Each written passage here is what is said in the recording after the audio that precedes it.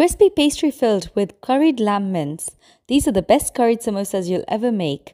Heat oil in a pan and add the mince meat. Cook until browned and then add some tropical heat ground ginger and crack some sea salt over it.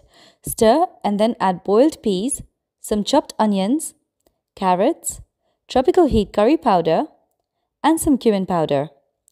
Stir and cook for about 2 to 3 minutes and then add coriander leaves. Let it cool down and then fold your samosa wrapper into a triangle like so, using a glue made by mixing together plain flour and water. Fill in each wrapper with the curried lamb mixture and then fold the top to form a triangle. Repeat with the rest and then deep fry on a medium flame for about 3 to 4 minutes or until brown and crispy. Take them out on a paper towel to drain the excess oil and then serve with some lemon wedges and enjoy.